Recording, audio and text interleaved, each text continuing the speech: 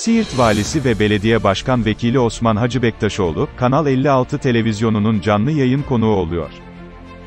Güres Caddesi projesi neleri içeriyor?